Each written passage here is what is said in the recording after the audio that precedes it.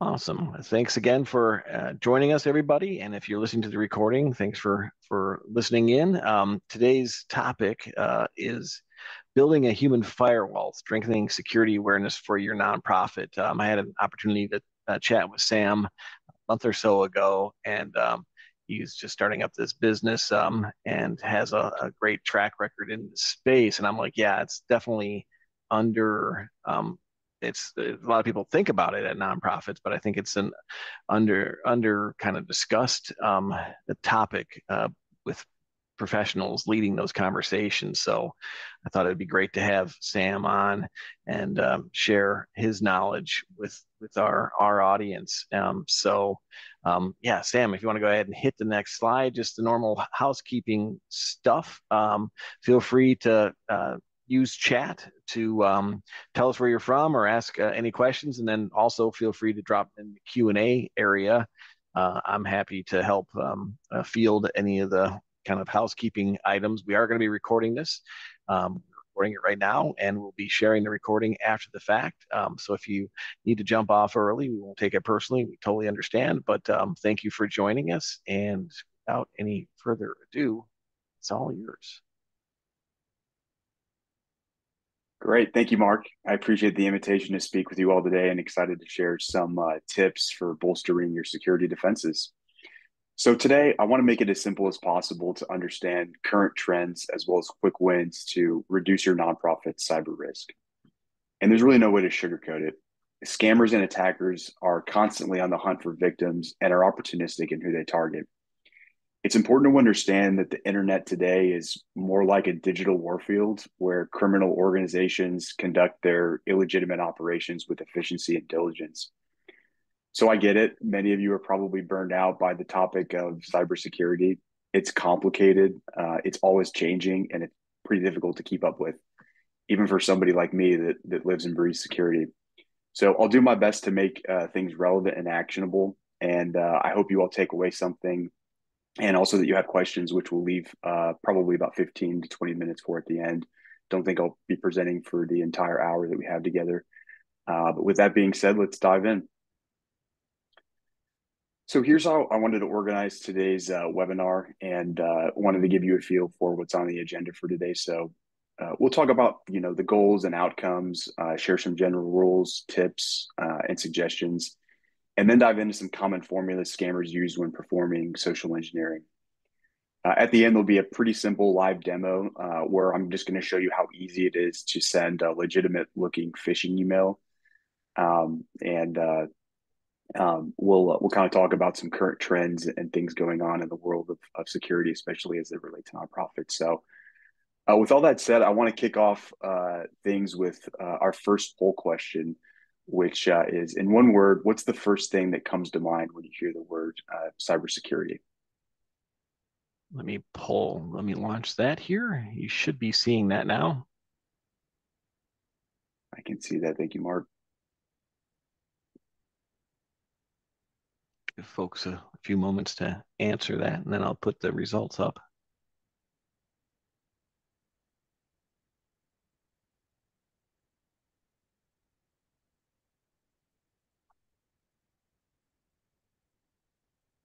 All right, I'm gonna give it another couple seconds and then I'll end the poll and show the results.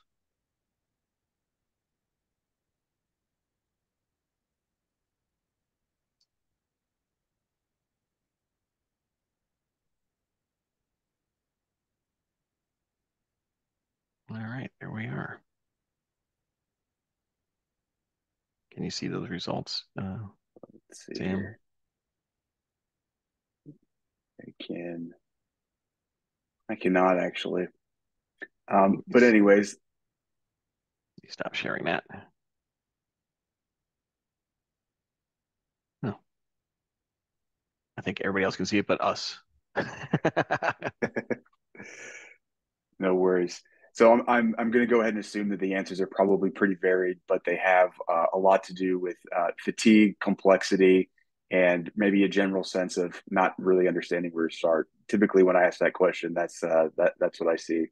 So, um, you know, there'll be obviously some topics that uh, you know are pretty straightforward, uh, but maybe some things that are a little more technical. Um, but I just wanted to get a feel for kind of everyone to uh, you know kind of share what their you know impressions are with uh, regard to cybersecurity. So the intended audience for today is really anyone, uh, which is actually, you know, just the the point of conducting basic security awareness training for uh, any structured organization like a nonprofit. So staff with no training, uh, those simply curious, and realistically anyone that does anything online should be able to glean something from today's webinar. Even if you're well aware of how to safely use digital communications and how to spot scammers, uh, it's important to refresh your knowledge as tactics and trends uh, obviously change quite frequently. Um, but to put it bluntly, this is why I have a job. Uh, it would be impossible to be an effective security practitioner and implementing all all the things that are needed for organizational um, uh, cybersecurity and hold down uh, another position. Uh, security just moves uh, simply too quickly.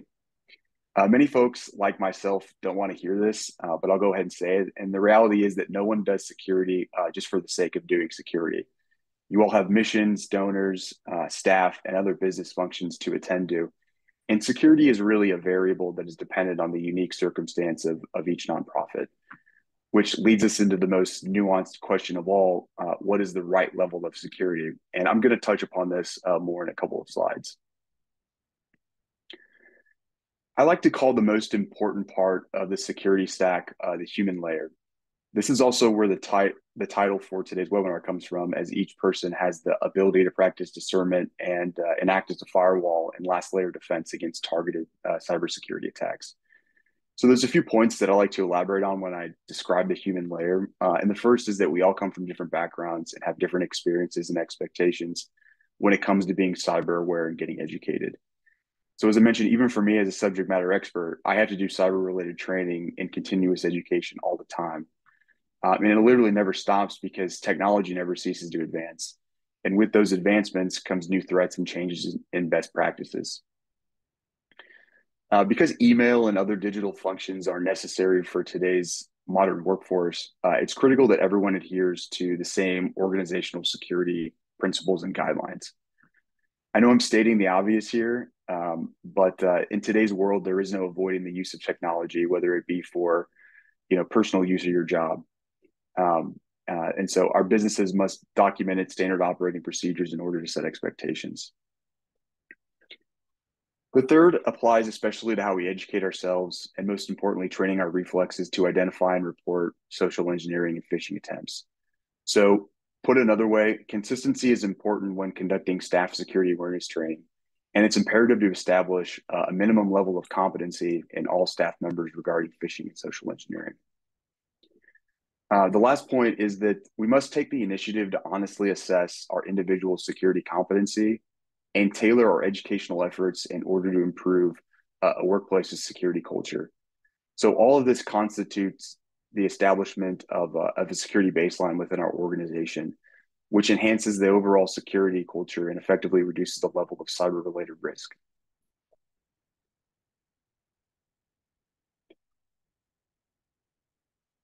So, what are we aiming to achieve here today? Well, security is everyone's job, which means that everyone at your nonprofit should be informed about the risks and consequences of getting phished.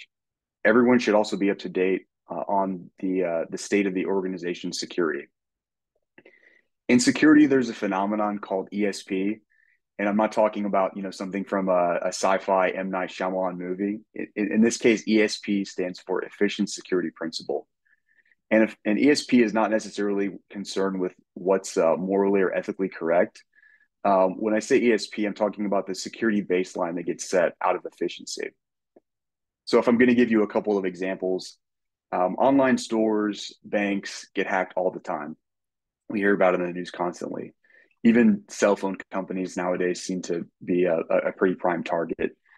Yet, even with all of these high profile breaches, uh, there are very few people that are actually exiting the services that, the, that these companies provide. And the question is, well, why is that? And that's because that you know typically these firms provide a massively valuable service, and uh, you know there's there's there's the trade off that most are willing to make. So, in other words, the quality of the product or service is inversely correlated to its security baseline. And every one of the nonprofits represented here today uh, has a security baseline. So the question isn't what's the right level of security, it's at what point should we set our security baseline to ensure adequate protection without jeopardizing support for our mission. Um, and it's you know not something that's quick to uh, arrive uh, on answering, but there are some steps that need to take place after uh, we can have that conversation. And the first is to make sure that the, the baseline is actually where it is believed to be. So, are there security gaps that the organization or its users don't know about? And if so, how do we make those visible to uh, to close the knowledge gap and find technical help? The second is to be creative and attempt to discover ways to uh, raise the security baseline in a manner that doesn't inconvenience your nonprofit or its primary mission. So leaders may not want to spend extra money or effort to raise a baseline, but no one is going to object or argue uh, to it if they don't have to lift a finger and the security baseline can be increased.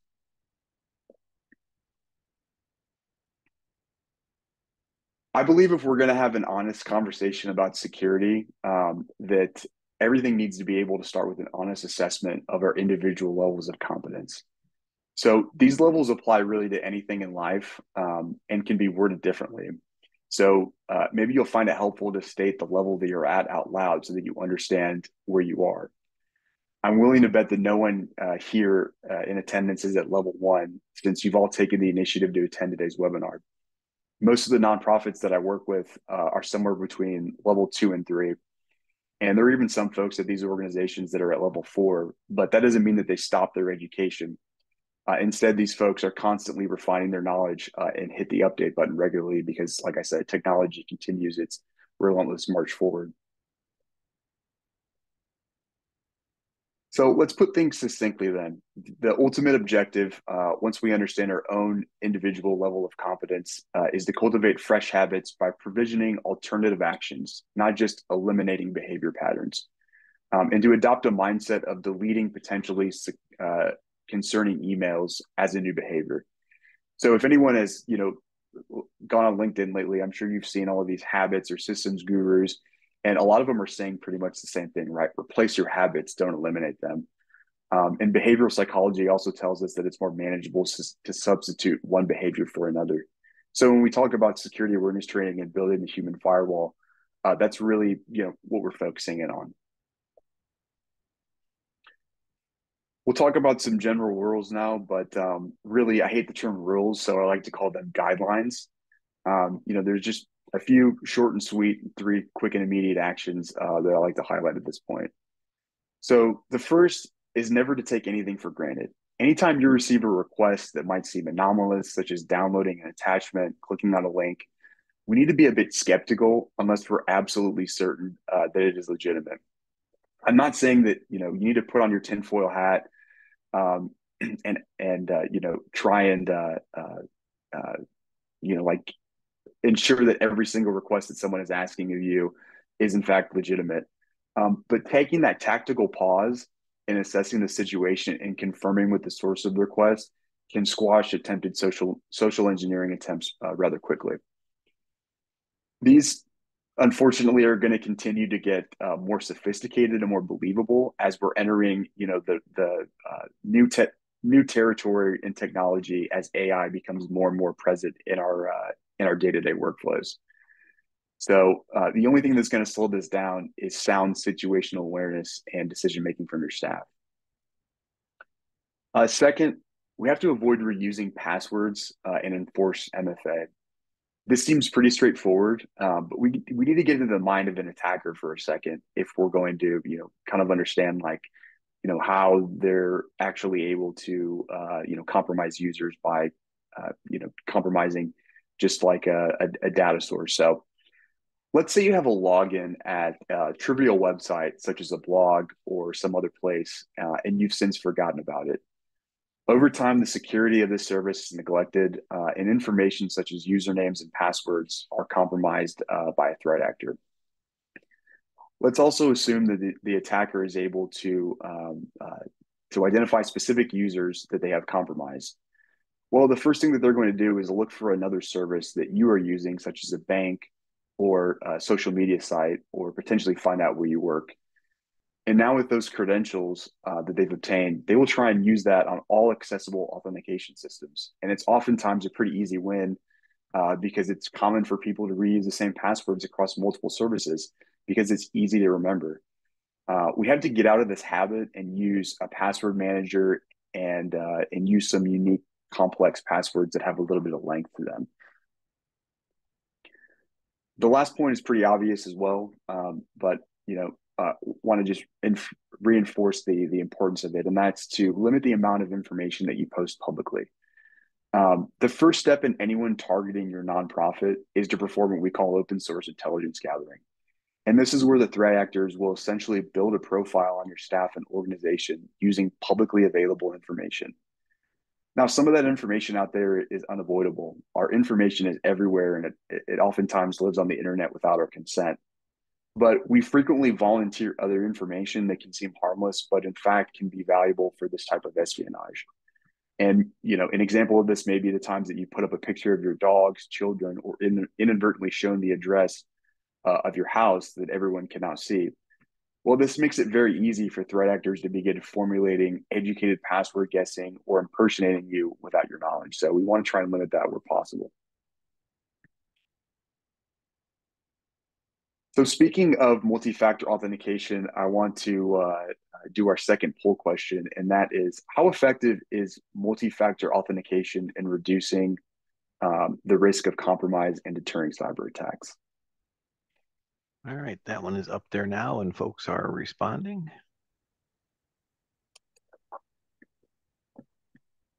Leave it up there for a little bit longer, give everybody a chance to respond to the poll question. And I will end it here in just a moment as I see most people have responded. Looks like most of you uh, selected 85.4%, uh, which is close, uh, but the correct answer actually is 99.2%. Uh, and this comes from Microsoft Digital Defense Report of uh, 2023. So MFA is really becoming the bare minimum now but there's a balance that we need to strike here because if we as an organization begin to implement multi-factor authentication on everything it can cause fatigue with users who will then be more likely to try and turn off these security features especially if uh, there is no enforcement there's multiple ways that mfa can be implemented i'm sure many of you have seen them um, you know could be something like a security question on the authentication system itself which is the least secure uh, but adds another layer of complexity right an example of that, you know, one that we've all probably seen is uh, what, what's your mother's maiden name, right, or some other question like that. Another uh, type of MFA is is an MSS based PIN that is texted to your mobile phone. Um, but the best or better implementation is, uh, you know, we'll typically ask that you configure an authenticator app such as Google, Microsoft Authenticator, uh, or Duo, which are you know pretty easy to implement and, and give you that out of band communication for receiving a token. The gold standard for MFA, though, which is considered to be, you know, phish resistant, is to implement uh, hardware tokens such as YubiKeys. And these are those small looking devices that resemble flash drives that are physically plugged into your computer. They're, they're a bit more expensive, as I said, and difficult to implement, but can have a tremendous benefit in uh, providing good security and peace of mind. And oftentimes, they also require some form of biometric data, like a fingerprint, to obtain uh, the code or login. So, you know, if we're striving for that highest, you know, implementation or, or best implementation, uh, getting a hardware uh, uh, token is is definitely, like I said, the gold standard. All right, let's go over the three main ways that scammers operate today, and we'll we'll uh, kick off another poll question, and that is, what is the term for phishing over voice communication? All right, we've started that poll.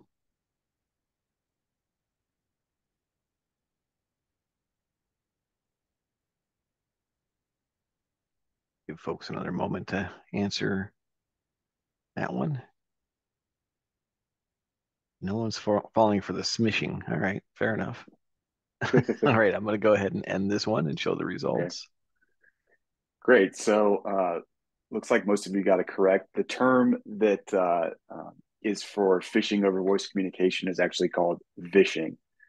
Um, phishing is sending bulk emails that typically include malware preparing to phone home. We've all received those. Uh, you know, if we look at our spam box, I'm sure there's, you know, multiple uh, in, in, each of our inboxes.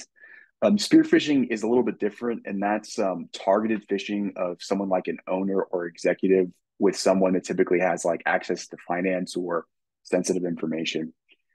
Um, so in the next slide, I'm going to show, uh, you know, all three of these attacks, um, how they're intended to create urgency and tie it to a convincing, um, uh, you know, action to take on your behalf. Um, it's more like a templated format that's, uh, you know, pretty common. It's used by criminals around the world. So with phishing and vishing, here's the typical uh, kind of playbook, if you will. So the first step involves establishing communication through email, phone call, or text message. Uh, scammers will often impersonate somebody asking for help. Uh, second, they will try to build trust and psychologically manipulate a target through some form of impersonation. Uh, in the military, we actually call this psychological operations, and that's when you try and deceive the target. Um, next, they they create some urgency and sympathy with the target. Um, but when I say urgency, I'm not talking about like the buy it now, you know, 90s infomercial Billy Mays like screaming from the top of of their lungs. It's it's more of like uh, you know an urgency, but not you know that that sweet spot um, to invoke some sort of emotion on the target, right? Um, the fourth part is you know the climax of the story essentially, and this is convincing the target to perform that action, like opening an attachment, clicking a link, or you know some other goal. And that action is then what runs the malware, has the uh, target share credentials, uh, approve a wire transfer um, or whatever the, the goal of the attacker is. Um, and five is the, the point of no return. That's where, you know, we just need to hope that we have good defense in depth in place. Like if malware is, is executed on the system, if sensitive information is divulged, or like I said, wire information is changed. Um, but you know, in the end, as we can see, and looking back at the course of actions that took place, um, everything is artificial uh, and it's not very Hollywood worthy. It's actually pretty simple. Um, and this is where I like to, you know, share like some personal anecdotes uh, as well from my career as a penetration tester or security tester. Um, and I know several very good penetration testers here in Austin. Um, and one uh, one woman that I know who's extremely good at the social engineering side of things. Um, she actually was telling me the story one time about a, a large national bank that uh, she was able to hack into through social engineering. And what she did was she called the front desk uh, and basically impersonated someone on the phone and was trying to get her password reset. And in the background, she played the noise uh, uh, of a of a crying baby. You know, you can Google this, find find a video of a, a loop of a crying baby on YouTube, um, and you know, c- configure some sort of prop like that. And what this did for the person on the other end was it caused a large amount of stress for the person um, and they felt rushed and they ignored their policies and they provided her with uh, you know the password reset and essentially you know the information that she needed to log in um, because they felt uh, some sympathy for her too because she was explaining that the baby uh, baby sound in the background was her son that hadn't you know eaten in uh, you know a few hours and that she was locked out of her account and that she needs to get back in to unlock her debit card to go then be able to buy food. So you know the lesson here right is to slow down and think and it's always easier said than done when we're removed from that situation. But uh, i like sharing that because uh, those kind of things happen all the time for real um, on you know people from all different backgrounds uh, so we just need to kind of like i said take that tactical pause and try to understand what's going on here and never deviate from our established uh, policies and procedures for spearphishing, uh, things can be a bit different, um, and this is a typical scenario of, of you know what I've seen for spearphishing attacks in my career. So, uh, the first step typically involves a scammer locating an executive um, and then targeting an assistant. So instead of the attacker sending email to all employees, uh, the scammer identifies the decision maker within the organization and begins to attempt that compromise. So it's much more than just you know, sending an automated phishing campaign out to a huge list of um, of uh, procured email addresses. In the next step, the role playing uh, really begins to pick up, uh, and that's where the scammer impersonates the executive uh, and makes requests such as a purchase uh, to be made or financial information be uh, to be changed on an invoice, for example, that goes to the assistant. So we've actually seen a lot of cases, uh, or I've seen a lot of cases in my career where the employees try to do the right thing. Uh, they ask for a phone call or for a meeting, uh, but because the attacker is impersonating somebody in a position of authority, um, the executive often uh, defers these requests uh, because they say they're making an exception to the rule or that they're simply in a bunch of meetings and that they can't, you know, hop on a call or meeting. Um, and you know, like I said, this is where the the scammer uh, effectively deflects any of these requests for direct contact. Um, you know, knowing that that would thwart the whole uh, operation. So, lastly, once again, the point of no return: the scammer is successful in convincing a target to take a requested action. Um, and this is where we just have to hope and pray that if, if things have gotten to this point, that your nonprofit uh, or organization has good defense in depth in place. Um, so the conclusion here is not to say that you know executive assistants are the Achilles heel it's just once again to demonstrate the the very common formula uh, for uh, being successful in social engineering attacks by uh, today's scammers. And I like to call these types of scenarios wolves uh, versus sheep. So we're a complicated species. We're emotional beings, uh, and we are each unique in how we perceive the world. No two people are obvious, obviously the same. And scammers know that. Um, and they know that uh, humans and untrained users are the weakest link in any organization's security. So security controls can only help so much. Um, and the best way that I like to put it is technology evolves quickly, but human emotion does not. Cyber related incidents are going to occur. And, uh, you know, to paraphrase the, the, the boxer Mike Tyson, we need to have a plan in place even after we get, you know, punched in the mouth. Uh, just because your nonprofit has antivirus uh, and spam filtering doesn't mean it's 100% protected. We have to be careful in what we access uh, at all times, what we download, and be mindful of what attachments we receive. And if you see some strange behavior on your machine, then there has to be, you know, uh, a contact initiated immediately. Um, if anyone watched 60 Minutes this last Sunday, there was actually an excellent piece on the ransomware gangs that hacked MGM and the other Las Vegas casinos. And they got in through social engineering. Um, they impersonated the user. They called the help desk, and once again, they got someone to reset a password. You know, similar to the story I was sharing about, uh, you know, my my colleague who's a penetration tester. And once they got into MGM's networks, they sat there patiently. They maneuvered, um, and they, you know, did reconnaissance on the corporate network, and then ultimately they deployed the ransomware. So a large enterprise like MGM um, can absorb the consequences of a successful phishing attack. MGM is still in business. Yes, they lost money, but uh, small uh, businesses and nonprofits can be completely wiped out uh, by a successful attack attack of this nature. So this last point is super important to uh, you know always keep in mind, especially when you begin to suspect that maybe you're the, you are the attempted victim of a social engineering campaign. All right, we'll talk now about some tips and suggestions. Um, and, um, you know, these are really priorities uh, to supplement the guidelines that we went over earlier. So, you know, I really wanted to kind of hammer in some points on passwords. And I know we all hear enough about passwords. We have to vary our password usage and make them long, as I stated before. Um, but really, using a passphrase uh, can be an easy way to create long and hard to guess passwords. Um, an example of this could be something like you know, I go out every Monday to eat ice cream with my son. All one word, and that's your login. Very easy to remember. Maybe take a little bit longer to type out, but I guarantee you're not going to forget it. Um, the National Institute of Standards and Technology, or NIST, recommends password complexity with with eight character password. Um, you know, in addition to passphrases, as I'm demonstrating or, or as I'm uh, as I'm describing.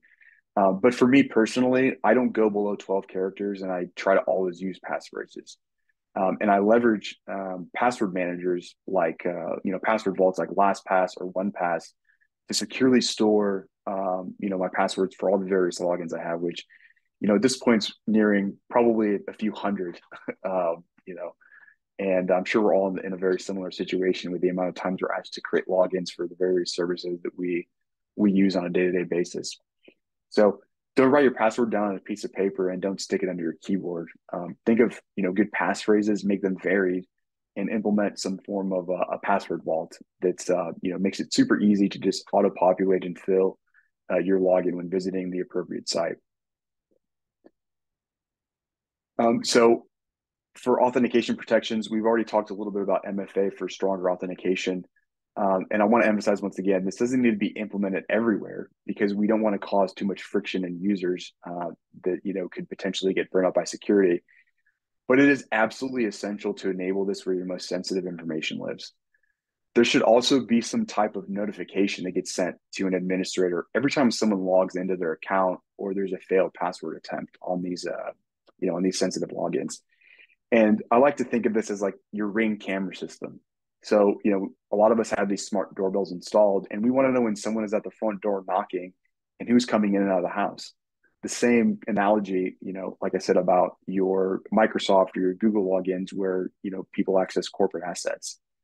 Um, it's super important nowadays to, like I said, get some monitoring on that and make sure that someone's being alerting at the appropriate time. Email is inherently insecure, um, and so I want to emphasize that you know it shouldn't be used as your file and storage place. Save sensitive attachments elsewhere and and you know try to clean out your folders. I get it. This is you know uh, something very tedious, and and I'm not the best at doing this either.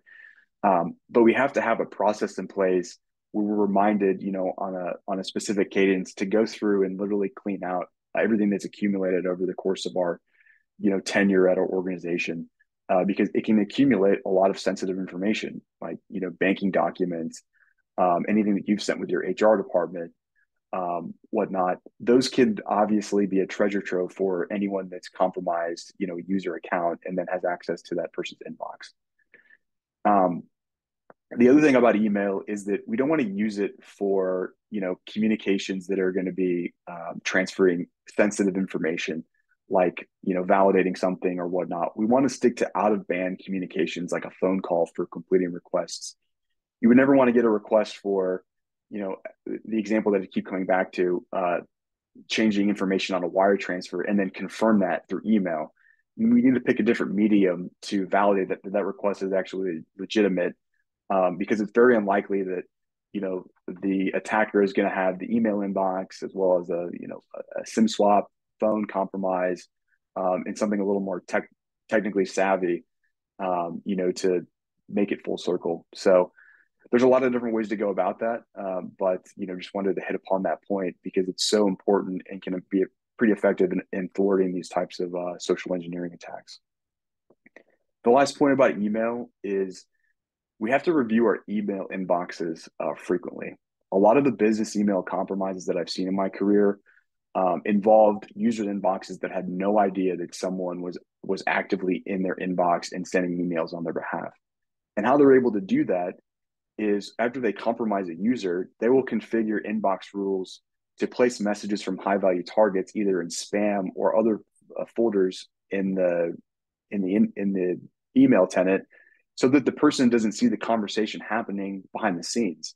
So this isn't a daily checklist item, but it's it's definitely good practice to go you know through on a, a monthly, weekly, whatever makes sense, and just see if there's any inbox rules that have been set up.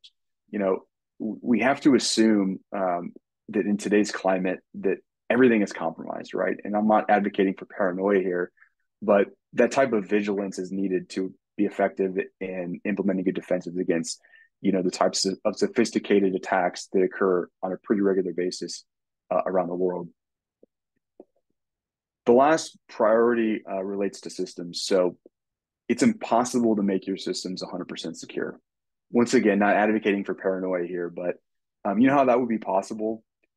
I would ask you to wrap a chain around your laptop and throw it in the bottom of the ocean. That's how you make something 100% secure that's connected to the internet. So there's an old saying in security that if you're batting a thousand at security, you're probably broke. Security is expensive and it's very time consuming. So, you know, this goes back to the efficient security principle that we talked about uh, at the beginning of the webinar. We don't need to spend a lot of money to make our organizations more secure and withstand, you know, some of the more common attacks today. But for sensitive servers and data, we have to make sure that we have good backups um, stored separately, and that there's a regular cadence for uh, for reviewing its quality. We have to also keep these assets up to date um, and have a process for regular patch management if possible. Um, and with that, you know, implementing some sort of remote wipe capabilities, which both Windows and Mac offer, um, in the event of a device being lost or stolen. And that leads into a pretty important point, which is about uh, mobile devices. So mobile devices are, are ubiquitous. Everyone uh, at this point has their email on their um, on their phone. I'm assuming, um, you know, if not, then you know it's typically uh, some form of I don't know government agency or uh, higher up tech company that's able to actually provide you with phones. But a lot of us just have that configured, you know, a work email configured right on our phone. So we we have a company asset on our personal phone, meaning that we have to understand how to secure it, right? And that means don't letting other people use it, keeping track of it. Uh, if you lose or misplace it, to let your superior IT department know so that they can deal with it and the sessions that that are that are active on your device, um, and then protecting it right with some form of password, um, you know, or biometric data, you know, which which is uh, able for all of us to be implemented using you know any of the Android or iPhone nowadays. Um, and then up keeping it updated regularly, which you know if we go and update our apps and our phone, uh, we can see that almost 100% of the time when the update comes out, it it talks about you know bug fixes and improvements. Uh, but in the fine print, there's also typically some listings about the security fixes that uh, are part of the update.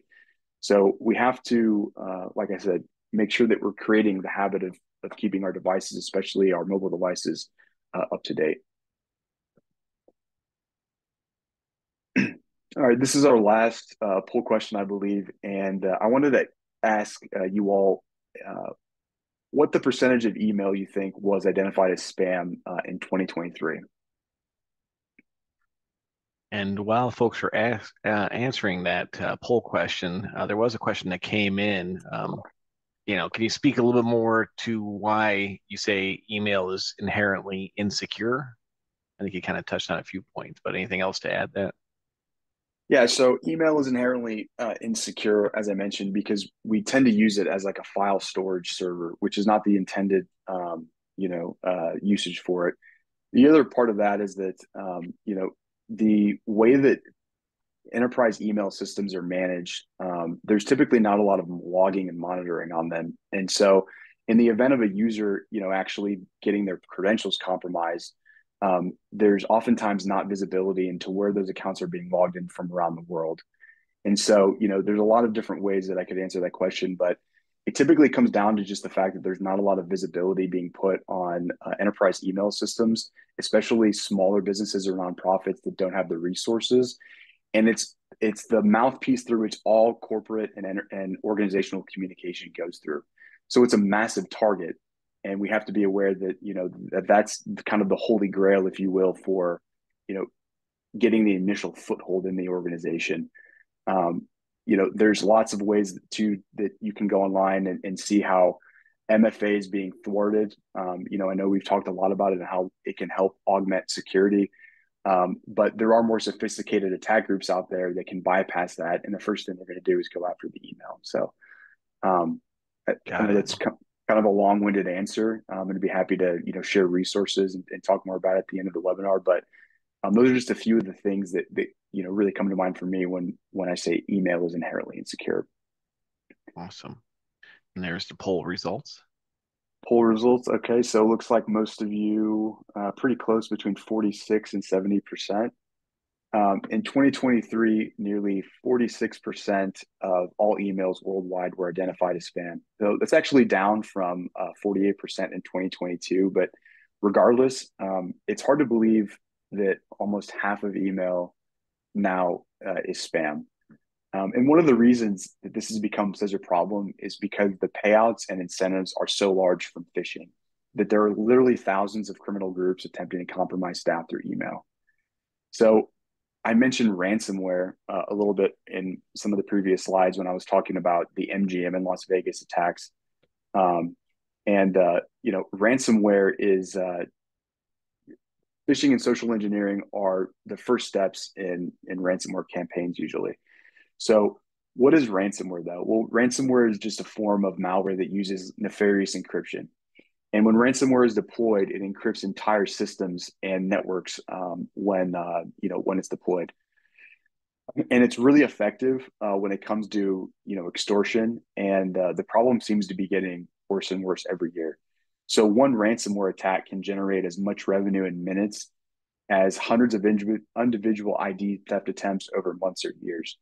Um, and as I said, a large portion of ransom of today's ransomware attacks begin with uh, successful social and social engineering and phishing uh, campaigns.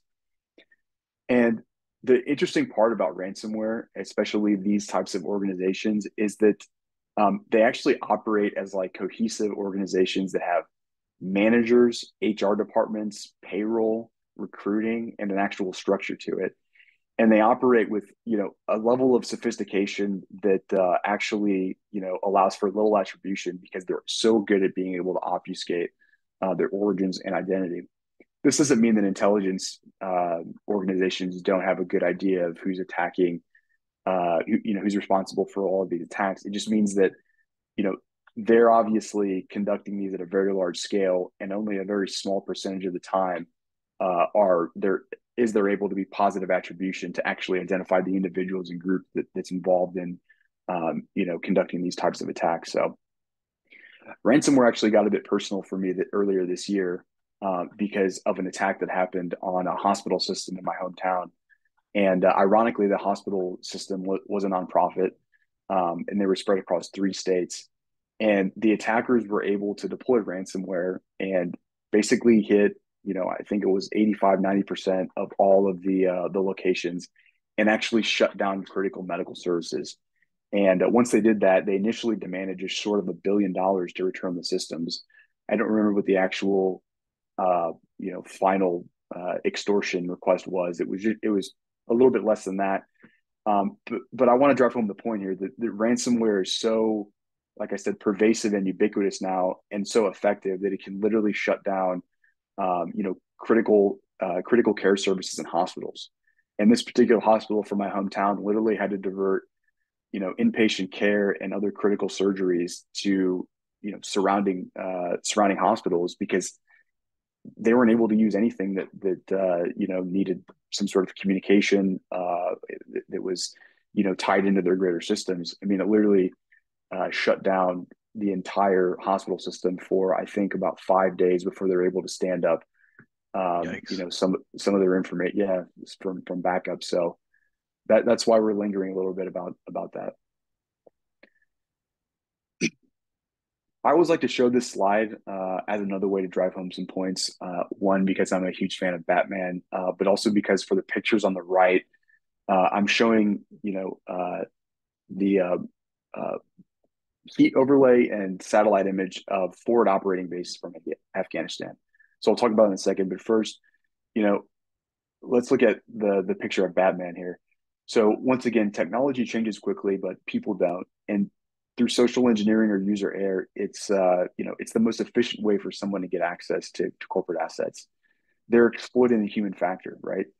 And in the same way that Batman is chastising Robin in this picture, uh, we got to be mindful of what we're putting out there because hackers and threat actors love intelligence gathering, and that's what they're doing before they even send an email or packet is building that profile. The pictures on the right of the uh, um, forward operating bases in Afghanistan um, actually occurred uh, when I was a soldier in the army uh, and on deployment. So what what we're looking at here is, like I said, the satellite imagery and then the the heat overlay um, that was created because soldiers were using the Strava app to map their runs um, while they were while they were on this particular base. And over time, this information was publicly accessible, and it created this, you know, sort of outline of the of the base. And once this got attention of the DoD, they obviously weren't too happy. And I remember having to, you know, actually prove that I wasn't using any sort of fitness wearable uh, at, at at one point to my chain of command while on base. So, um, you know, it just goes to show you once again that there's information that's, um, you know, very valuable. That's oftentimes, um, you know, not intentionally put out there uh, for um, uh, for people to glean. So. I'm going to skip ahead now and uh, go to uh, a slide that I like to address some things that um, you know some of you that are in attendance that are leaders uh, might be curious to understand how to steer the ship towards creating a better security culture uh, at your nonprofit. So the first step is always in creating and maintaining sound policies and procedures. There are tons of different policies. Some important ones that uh, you know should be spelled out are training requirements and acceptable use of the of your nonprofit's equipment and software. There are many, many others, of course, but these are you know a, a few of them that I really like to to hit upon. You know, during that initial conversation about uh, creating more robust uh, security posture. So, I'm also a fan of using incentives um, where it makes sense, and uh, you know, this is like human psychology 101, going back to the book Freakonomics. So, people respond to incentives. And as leaders finding a way to tie you know incentives to um, uh, to the completion of security awareness training within an organization can be a really effective way to make sure that everyone you know obtains that baseline level of knowledge so each organization nonprofit has different financial means and ways of providing these incentives but I, I absolutely implore you know those in leadership to explore ways that they can actually uh, create those within their uh, within their company uh, secondly, for communications, there has to be an established reporting process uh, for your staff when they are phished or when they have identified a phishing email. So the norm should not be that it is swept, you know, under the rug and quickly forgotten about. Um, you know, the question that I was asked is, does our staff really know how to report these issues? And if not, it's probably a good idea to think about creating a policy or memo that outlines the appropriate steps. Um, the other part of communications is, you know, making sure that you have a good list of, uh, like an aggregated list of third parties um, that your staff can see, uh, you know, who's approved and, and what's not on the list. So this can help avoid users from going out and procuring their own solutions to things and, and, and things that might be insecure and actually help them help inform them of who they should be receiving communications from and what might just be a phishing attempt. And, you know, kind of the, um, like uh, an ancillary benefit of this too is that it can actually help reduce financial bloat if you have an organization that doesn't have these policies you oftentimes might have redundant software where you know uh, two leaders two department heads have gone out and procured very similar software solutions that actually have the same function so you know that's just like i said an added benefit that can help here uh, if you you know if your organization has quite a few tools and maybe they, they want to try to pare things down a little bit um, and the last part of communication is uh, understanding how company updates are being provided regarding security and expectations. So it's never safe to understand or make assumptions um, regarding, you know, the, the flow of information. And, you know, this is obviously how misunderstandings can quickly arise. Um, but having, you know, regular company updates also can assist in demonstrating, you know, just greater accountability within the organization um, and making things more visible and, instead of leaving it up to the telephone game. with planning, as I said earlier, um, your nonprofit will in fact endure, uh, you know, during the course of its life, some form of cyber-related incident. Now, I'm not guaranteeing any any level of severity here, but I can guarantee that you know there's going to be something that comes up related to cybersecurity uh, during the course of you know your organization's lifetime. It, it, I see it all the time with organizations that are a few months old to you know have a couple of decades under their belt. Um, but when these types of events occur, are we understanding who's responsible for the incident response process? And do, do, does that person even know that they're responsible? Um, and that has to be rehearsed in good times and understood then because post event is when stress and, and emotions are out of balance and no one's making you know good decisions so making sure that we have sort of that dress rehearsal before you know as we say uh, you know stuff hits the fan um, is going to position us way better to actually respond appropriately to those uh, uh, those circumstances.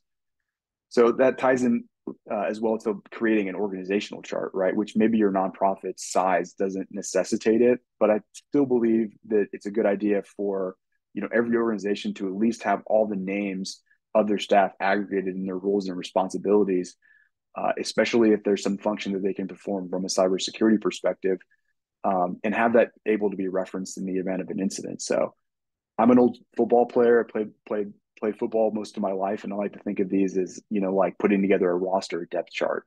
Um, you want to have that you know readily available in case something goes down, or you know when you're trying to you know go to Plan B for some incident. Uh, last point on the slide is just uh, you know a little bit about training, you know security awareness training, and that's obviously sort of what we're doing here today. Um, but I want to emphasize that it cannot be just a one time event that occurred several years ago for your nonprofit. It should take place on a regular, continuous basis, and it also should be varied uh, so users don't become bored and that there's you know fresh content that's addressing the latest risks. Uh, it should also be tailored specifically to your staff uh, you know, and acknowledge threats that your nonprofit specifically faces. So, um, you know, your leadership should have a, a pretty good hand in creating and crafting what information is presented during that training because they know the organization better than anyone. All right, so we're in the home stretch here, um, and I know I said I would leave a few minutes for questions. I want to make sure that uh, i uh, stand good on that promise. But uh, first, I just kind of wanted to show everybody uh, how easy it is just to send a phishing email, and we're not going to compromise anyone's credentials here. Um, we're not going to be, you know, like doing anything too sophisticated. I'm just trying to give a, a general idea, right, for how easy it is to, to do something like that today. So uh, we're going to forge a sender. We're going to make the legitimate. We're going to make the email look legitimate. Uh, we're going to create just a little bit of urgency, and then we're going to re- redirect the user to you know the Office 365 login page, which, like I said, I haven't stood up any sort of infrastructure that um, is you know trying to impersonate that. But all I would need to do is insert the hyperlink into the email, and I would be very. It would be very easy to get somebody to um, you know click on that link and they go to the site uh, and, and log in. So I've spun up, uh, you know, a uh, a dummy email here at uh, Proton Mail, and like I said, I don't use this for anything, just for demo purposes. Um, but the email address is can't stop us now at protonmail.com, which I'll, uh, you know, it's not really important to remember, but I'll, uh, I'll, I'll tell you where that comes in here in a second. Um, and the software that I'm talking about using is uh, is called GoPhish. and this is used by both white and black hat hackers. White hackers being uh, you know folks like myself that do penetration testing, uh, and black hat hackers being you know the ones that we've been talking about during this whole presentation that are actually interested in uh, creating some sort of damage to your organization. Um, but the first thing that uh, I wanted to show you here is um, you know that the uh, the first step is to create some sort of user group that uh, is going to contain all the emails that an attacker procures that's going to uh, you know receive the email. So for today's demonstration, I just put the uh, email address tied to the Proton Mail account that I uh, that I just showed you. And uh, you know, at this point, some of you might be actually asking yourself, well, how do these you know how do attackers get these these emails and how do they know who to send them to? There's a lot of different ways. Uh, there's dark web data breaches. There's open source intelligence gathering, as I alluded to, you know, at several points during uh, earlier slides. But this is a tool that I use that's publicly available to anyone. Um, and I just want to show you once again how easy it is to get this stuff. So, um, you know, a software that I'm sure many of you uh, use. Let's see, Blackbaud um, is you know on here, and there's tons of email addresses that I could, you know, try and phish immediately. So it's very trivial to get legitimate uh, email addresses or just create a list. And some of these are probably stale. Um, but if I'm not worried about, you know, shooting with 100% accuracy here, I can easily create a phishing campaign and send it to literally thousands of emails simultaneously. So going back to our GoPhish um, uh, dashboard here, I created a, uh, a, you know a SharePoint access um, email, and I'm going to envelop the sender with Mark's email address. So I'm impersonating Mark here, and I created uh, some you know HTML, and when rendered, it looks you know just something like this. So it's not too flashy. Uh, it's not too you know. Uh, I'm sure some of you would be able to spot this. Uh, but for a lot of us in a situation where maybe we're a new employee and we're expecting to get set up on some type of uh, you know tool. Um, maybe this is just something that you brush over and you click the link on. So um, you know the text is, is very easy. Hey sam here's the link to access the sharepoint site. Please log in at your earliest convenience. Thanks nb all right. So now we're going to send the actual campaign. And what i'll do here is just name the campaign I'll select the landing page um, and I'll select the group, which includes that uh, Proton account email that I uh, that I was showing you. So we'll launch the campaign, and we'll wait a couple seconds for that to get to the Proton mail account. But as you can see here in the meantime, uh, I have a dashboard complete with metrics uh, to share, you know, to show like when the emails were sent, who opened them, who clicked the link, who submitted data. Um, and this is this is something that any of you can pull off of GitHub or any other uh, website that that you know you can download the actual executable program from. Uh, it's not paid for. Like I said, it's completely free. So if I reload my inbox, look, I've got an email from um, from Mark. It says SharePoint access. And as you're going to see here before I open it up, there's going to be a warning because I haven't authenticated um, the domain because I just spun it up, you know, a few days ago. But um, it's not a bad looking email, and you could you could easily kind of put yourself in somebody that might be new to the company that uh, not necessarily educated on the latest trends and tactics or uh, phishing techniques, and knows that there might be getting something from from leadership, and simply clicks on the link. So you know that link can take them anywhere as i said it takes them to a microsoft login page um, but this can easily be replicated to look identical and um, you know can actually be 100% illegitimate and just there to capture somebody's credentials so um, like i said it, it's pretty trivial and there's not a lot of sophistication behind these actual social engineering campaigns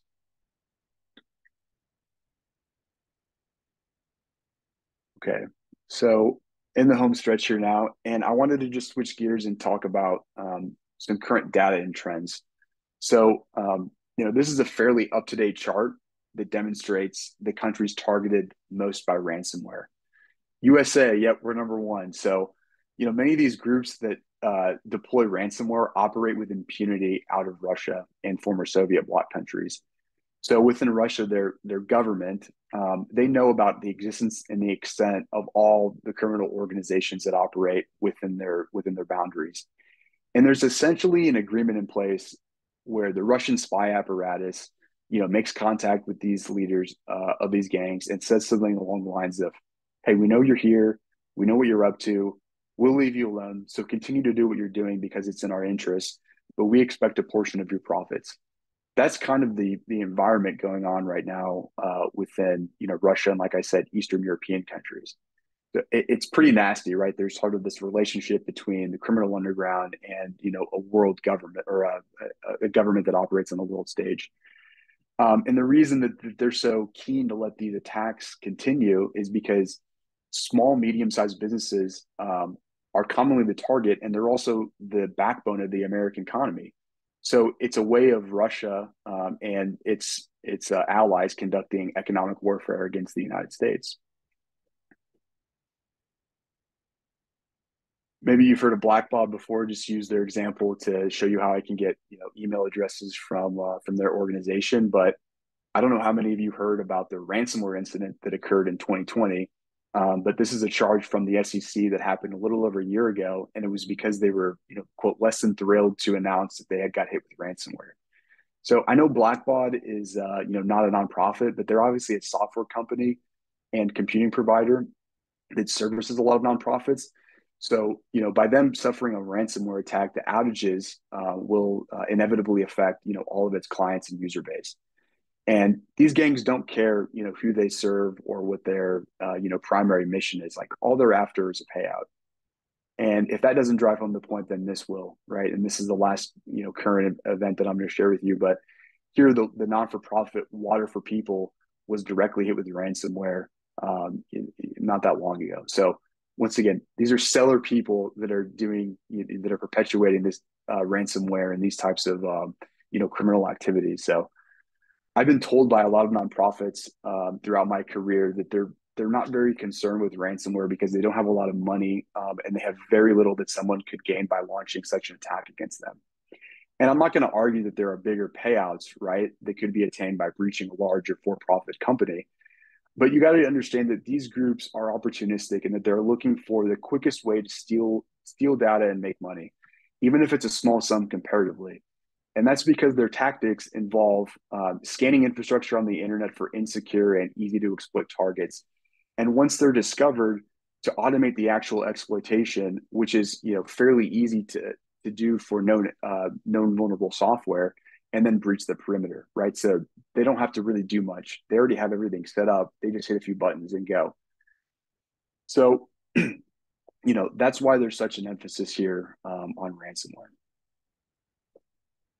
So I know we're at the top of the top of the hour already, so uh, I just want to drive home three uh, quick points. I know that was a lot of information, so I don't want anyone to go away or, or leave leave here confused today. But if I had to choose three broad yet different tactics, both for the individual and nonprofit, it would be the following: implement multi-factor authentication, confirm and maintain your organization's policies and procedures, and as an individual, always validate what someone is asking of you.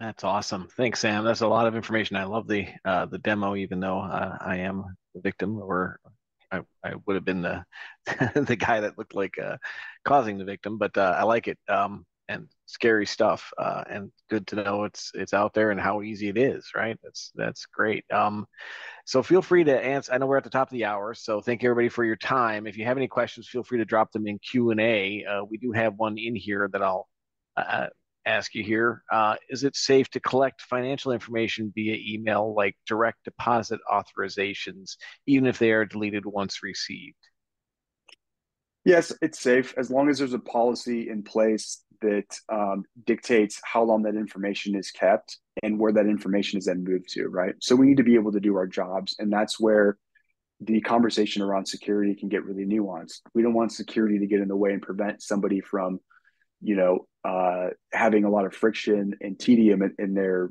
in their actual responsibilities. Um, but we can't leave that type of information just floating around in our email inboxes for eternity good point it's like writing it down on a piece of paper and leaving it on your desk right well, thank you. That was really uh, interesting stuff. Uh, I took a bunch of notes, and uh, thank you everybody for attending, and thanks Sam for the info. And if you have any other questions for him, um, definitely feel free to reach out. And uh, everybody have a great day. Thanks, Mark. Thank you, everyone.